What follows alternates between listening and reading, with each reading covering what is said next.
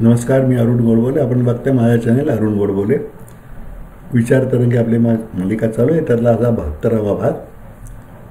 ब्रँडिंगचा फंडा या विषयावर मला बोलायचं आज खरं. हल्ली प्रत्येक गोष्टीचं ब्रँडिंगचं इतकं सुसवाळ झालं आहे की बिन ब्रँडिंगचं तुम्ही काय वापरलं? म्हणजे तुम्हाला शर्ट आहे तर तो कुठला शर्ट आहे?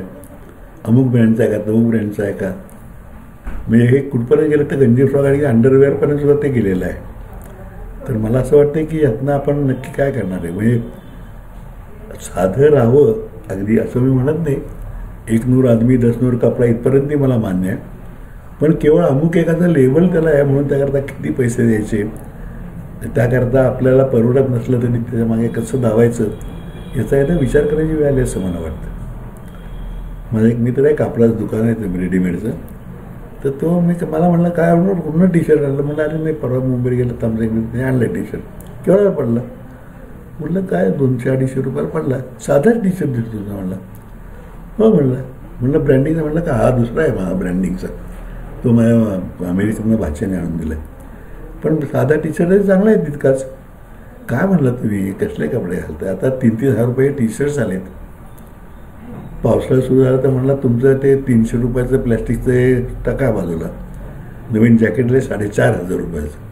अमुक ब्रँडचं आहे. बुटाचा काहीतरी फ्रॉक्स का काहीतरी ब्रँड ब्रँड आहे कुठलं तरी आला आहे त्यामुळे चार हजार रुपयाचा बूट आहे. म्हटलं मग काय ते सोनं लागलं काय? त्याला आमचा बूट साधा आहे की? ते आमचं एक निर्वासित आहे म्हणजे निर्वासित नाही पंजाबी दुकानदार आहे. त्यांना आम्ही चप्पल आणतो साधारणपणे दोन अडीचशे तीनशे रुपयाला चप्पल मिळते. बूट असला तर तो चारशे रुपयाला मिळतो. लेदरचा नाही साधा असतो पण तो दोन तीन वर्ष टिकतो आणि काय लागेल काय म्हणता तुम्ही कसं काय आहे? लोकांना ब्रँडेड लागतं म्हणणं. आता गंजी फ्रॉक्स अकरा अकराशे रुपयाचे गंजी फ्रॉक्स आहेत. अंडरपॅन्टसुद्धा म्हणलं दोन दोन हजार रुपयापर्यंत आहेत. म्हणलं ठीक आहे बा अंडरपॅन्टला म्हणजे लेबल हो नाही ब्रँडेड आहेत म्हणलं. पण मला एक दुसरी काय गमत वाटली की येणारे लोक आहेत ना म्हणजे समजा ठीक आहे माझी आर्थिक परिस्थिती चांगली आहे मी परवडू शकतो घेतो पण ज्याला नाही आहे शक्य समजा एखाद्या कॉलेज गोईंग मुलाला तर तो आईवडिलांना मागून तेवढे पैसे होऊन तर ब्रँडेड दिसलं पाहिजे. चरक दिन किंवा अमुक काय कुठला ब्रँडचा माझा शर्ट असलं पाहिजे. म्हणजे आपण काहीतरी चुकीच्या मार्गाने चाललो का असं मला वाटतं. कापड चांगलं असावं ते फिटिंग चांगलं असावं हे सगळं ठीक आहे. पण केवळ अमुक याचा शिक्का आहे काय गुकीचा गुक्कीचा ब्रँड आहे अमुक काय काय ब्रँड आहेत बरं नवीन? मलाही फारसे माहीत नाहीत. त्या अगदी मागास आहे थोडासा। पण लोकांचे अरे हा ब्रँड आहे का बरं हे बायकांचं जे आहे पुरुषांच्या करत आहे दोघांच्या करत आहे. तर आपण केवळ त्या अमुक म्हणजे एक अभंग आहे ना? उसळ डोंगापरी रसळ डोंगानो हे काय बोललं शिवरली या रंगात? तसं ते वरल्या रंगाला आपण बोलून आपण काय आपलं स्वतः नुकसान करतोय का? कित्येकदा हे ब्रँड परदेशी असतात. तुम्ही जे पैसे त्या करता त्यातली काही रक्कम रॉयल्टी म्हणून त्यांना जात असते. आणि मग तुम्ही त्या ब्रँडकरता पैसे आपल्या गरजेतले परदेशात पाठवता हेही तुम्हाला कळायला पाहिजे ना. आणि ठीक आहे म्हणजे चांगले उत्तम कपडे असावे टापटीप चांगलं फिटिंग असावं त्या दर्जा उत्तम असावा हे सगळं मला मान्य आहे. पण केवळ अमुक एक शिक्का आहे म्हणूनच तो चांगला असं कसं म्हणतात? बरं असं काय फार वेगळं असतं का हो? ते जेव्हा सुरुवातीला ह्या जीन्स आल्या ना तेव्हा तर तर आमचा एक मित्र म्हणायचा की हे वॉश अँड वेअर वगैरे नाही हे वेअर अँड वेअरच आहे म्हणला. किती वाटत ते फाटत नाही तारपत्रीसारखंच आहे. किंवा काय मध्ये डिझाईनच्या डीस आलं की गुडघ्यावरती कापलेलं असायचं तेवढं काय फाटलेलं आहे? नाही म्हणलं ही स्टाईल आहे मला काय म्हणजे आपल्या कधी आम्ही खरंच मागासलेल्या बुद्धीचे असू पण मला हे कळत नाही की नवीन पिढीला आणि त्याच्या मागून काही जुन्या पिढीतली लोक आहेत तसेच. म्हणजे सत्तर पासष्ट सत्तर वर्षाच्या लोकंसुद्धा बर्म्युडा आणखीन टी शर्ट घालून निघतात आणि ती ब्रँडेड लागते. बर्म्युडा काय मी स्वतः घालतो. आमच्या चिंप्याकडनं टेलरकडनं शिवून आली की हाफ पॅन्ट मस्त होती. हाफ पॅन्ट म्हणजे पूर्वी संघाचे म्हणून चिडवायचे ना खाकी हाफ पॅन्ट पण आता ती बर्म्युडा ही सर्वमान झाली आहे. पुढं थ्री फोर्थ आलेली आहे. जे आपल्याला योग्य आहे. आपल्या भारताचे उष्णकटिबंध देशात जरा सळीसर कपडे असणे चांगले. आता जर फिटिंगला तुम्ही गेलात तर शिंपी नाही हे फार लूज होते.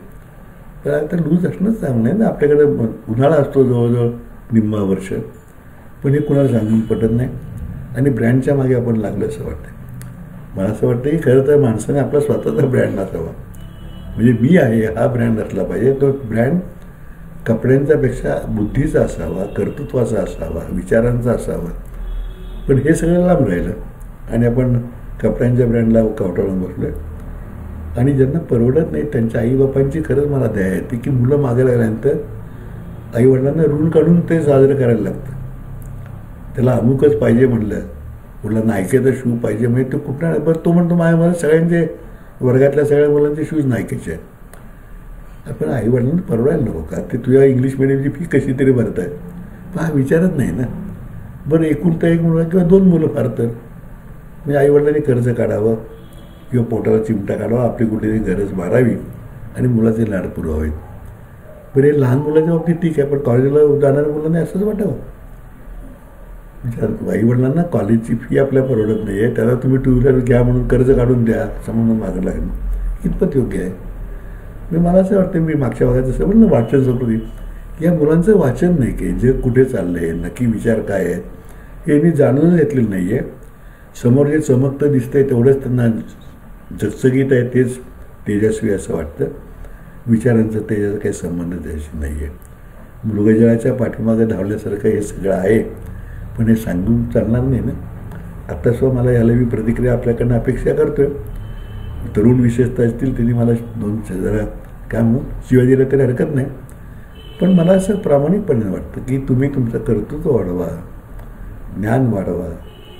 पोषाखावर चांगलं लक्ष आहे ना. मी वेशासावा बावळा परिअंगी नाना काळात समर्थ म्हणले असले तरी बावळा वेश ठेवायचं माझं म्हणणं नाही. उत्तम वेश असावा पण केवळ त्या ब्रँडच्या मागे लागू नका ना. आणि मुख्यतः जो आपला वेश आहे चांगला तेवढा तेवढ्यात चांगलं आपलं कर्तृत्व असेल इकडेही लक्ष द्या ना. मला असं मनापासून वाटतंय की हा विचार तरुण पिढीने करायला पाहिजे. आणि ज्या पालकांना हे असलं ब्रँडेड परवडत नाही त्यांनी सुद्धा सुरुवातीलाच आपल्या मुलांच्या ह्याला आळा घातला पाहिजे. की अरे बाबा आपल्याला नाही परवडणार हे ब्रँड वगैरे. परवडलं तर घेतलं असतं ना नाही परवडणार. आणि हे वेळच्या वेळी जर समजावलं तुम्ही तर पटेल. जसं एकदा मोठं झाड झालं की ते कापून टाकणं अवघड जातं.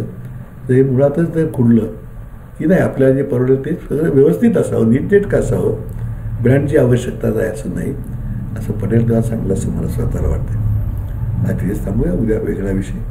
कारण यात किती बोललं तरी कमीच आहे. मी आता ऑलरेडी सात आठ मिनटं झाली. आणखी मी पंधरा मिनटंसुद्धा बोलू शकेन. आणि लोकांचा रोष ओढून घेऊ शकेन असं मला वाटतं. आणि थांबूया. आपल्या प्रतिक्रिया मला जरूर कळवा. अठ्ठ्याण्णव दोनशे वीस सोळा दोन नव्याण्णववर किंवा Arun dot Godbole zero zero nine at Gmail dot कॉमवर तेव्हा आता नमस्कार.